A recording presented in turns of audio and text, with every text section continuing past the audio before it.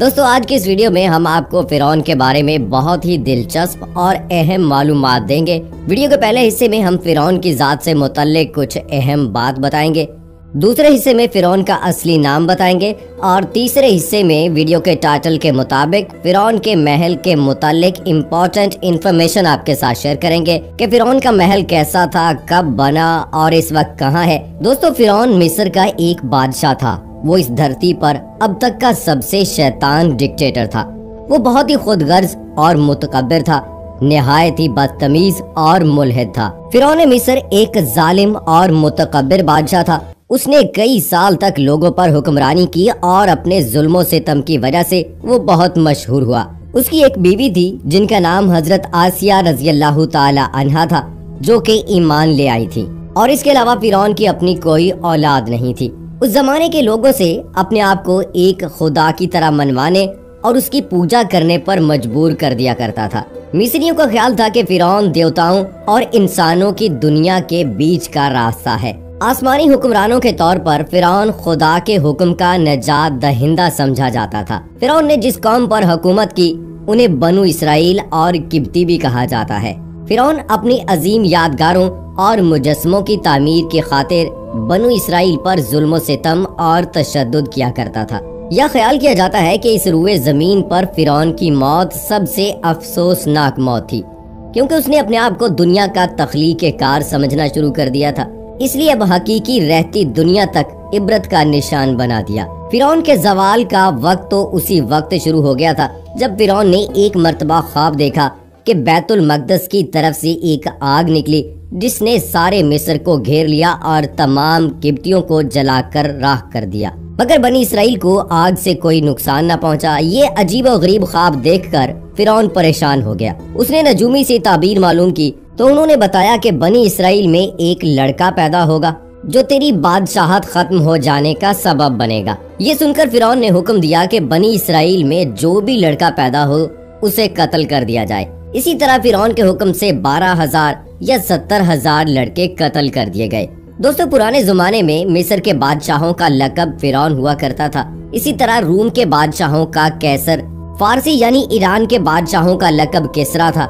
Yemen के बादशाहों का लकब तूबा, तुर्क बादशाहों का खाकान और हबशा के बादशाहों का लकब नजाशी था। मिस्र के जितने भी बादशाह गुजरे हैं इन सब में हज़रत मूसा अलैहिस्सलाम के दौर का फिरौन सबसे ज़्यादा बद अखलाक, सख्त दिल और जालिम था। फिरौन के नाम के हवाले से अगर बात की जाए तो इसमें इख्तलाफ पाया जाता है। कुछ के करीब वलीद मसब बिन रयान था और कुछ के करीब है कि मिन फताह बिन रमेस सानी उसका नाम था। हज़रत यूसुफ अलैहिस्सलाम और मूसा अलैहिस्सलाम के दौर के फिरौनों के दरमियान 400 साल से ज़्यादा का फासला था। मनकूल है कि फिरौन ज़मीन पर सरकशी के साथ साथ खुदाई का दावेदार भी था। उसने अपनी कौम को दरियाए नील के ज़रिए गुमराह कर रखा था। और वो यूँ के जब योम नरोज, यानी आतिश परस्तों की ईद का दिन आता और दरियाए नील इंतहाई ठाठे मारता तो लोगों में ये ऐलान कर दिया जाता कि तुम्हारे लिए फिरौन ने दरियाए नील को पुरजोश कर दिया है। लिहाजा तुम इससे सजदा करो। तो चाहे लोग इसकी बात पर यकीन करते हुए इस पर सजदा करते एक साल दरियाए नील का पानी कम हो गया। तो अल्लाह ताला ने उसे पुरशोर मोजे मारने की इजाज़त न दी। लोग भूख के सबब निढाल हो गए और कहत में मुबतला हो गए। चुनाचे पूरी कौम इकट्ठी होकर फिरौन के पास गई और इससे मुतालबा किया कि हमारे अहलो अयाल, औलाद और जानवर सब हलाक हुए जा रहे हैं। अगर तुम हमारे खुदा हो तो दरियाए नील का पानी जारी करो। तो उस लईन ने जवाब दिया, ऐसे ही होगा।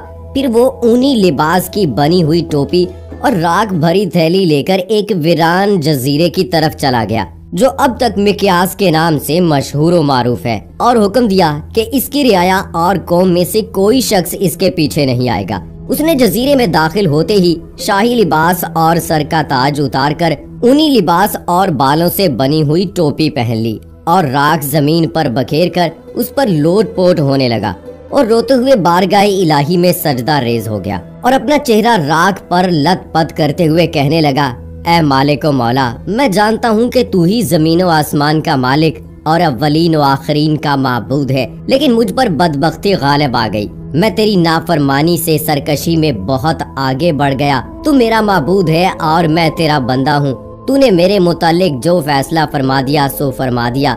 मौला, अब मुझे मेरी कौम में जलील और रसवा न कर, और तू ही सबसे बढ़कर करम फरमाने वाला है। दोस्तों, अभी फिरौन की बात पूरी न हुई थी कि अल्लाह ताला ने उसी वक्त दरियाए नील को जारी होने का हुक्म दे दिया और दरिया से फरमाया कि जहाँ तक फिरौन जाए, वो भी इसके साथ साथ चले। चुनाचे फिरौन अपनी कौम में इसी हालत में जा रहा था कि दरिया का पानी इसके दामन को तर करते हुए साथ साथ जा रहा था। और लोग अपनी आस्तीनों को पानी और कीचड़ में डुबोकर खुशी से एक दूसरे को मार रहे थे। उस वक्त से अब तक मिस्र में खुशी मनाने का यही तरीका राइज है। और अहले मिस्र इससे योम नरूज यानी दरिया नील की तुगयानी का दिन कहते हैं। दोस्तों, फिरौन अल्लाह ताला का दुश्मन था, जो लम्हा भर उसके लिए मुखलिस हुआ तो उसे बारगाही इलाही तलब के मुताबिक अता किया गया। उसकी पर्दा पोशी की गई और कौम में उसको जलील और रुसवा होने से बचा लिया गया। तो जो शख्स सारी ज़िंदगी इखलास से अल्लाह ताला की इतात इबादत करता रहे तो वो उसे किस कदर इनामात से नवाजेगा? उसे आखिरत में क्या कुछ ना अता करेगा? इसी तरह नाफरमान बंदा जब अपने गुनाहों से तायब हो जाए और अपनी खामियों का एतराफ करे बार गाय इलाही में ऊँची और आहिस्ता आवाज़ से गिड़गिड़ाए तो अल्लाह ताला उससे पाक है कि बरोजे कयामत उसे अजाब दे। यह सबके सामने जलीलो रुसवा करे। इतना कुछ होने के बावजूद भी फिरौन पर बदबख्ती गालिब आ गई और वो इसी तरह खुदाई का दावेदार बना रहा। दोस्तों, अगर फिरौन के महल के हवाले से बात की जाए तो कहते हैं कि फिरौन ने अपने वज़ीर हामान को महल बनाने का हुक्म दिया। तो हामान ने ईंटों के पकाने और चूना तैयार करने का काम शुरू कर दिया।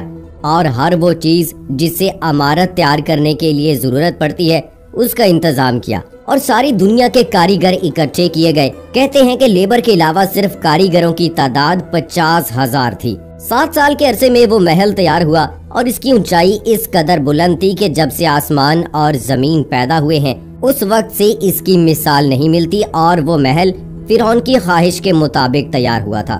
जब उससे फारे हुए तो ये हज़रत मूसा अलैहिस्सलाम पर शाह गुजार हुआ। आपको दिली तौर पर सदमा हुआ।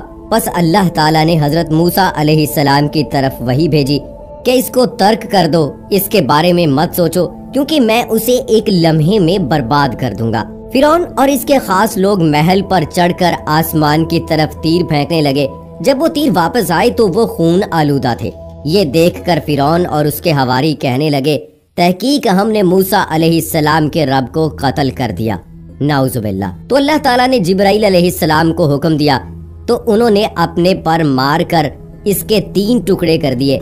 उनमें से एक टुकड़ा समंदर में गिरा, एक टुकड़ा हिंदुस्तान में और एक टुकड़ा मगरब में गिरा। दोस्तों, एक रिवायत में ये भी आया है कि इन टुकड़ों में से एक टुकड़ा कौम फिरौन पर गिरा था, जिससे दस लाख फिरौनी लोग हलाक हो गए थे। और ये भी रिवायत है कि जो लोग इस महल को बनाने में शरीक थे, इनमें से हर एक डूब कर या जल कर या किसी आफत से तबाह हुआ और अल्लाह ताला ने फिरौन का महल सुबह सवेरे, यानी तुलुए फजर और तुलुए आफ्ताब के दरमियानी वक्त में तबाह कर दिया।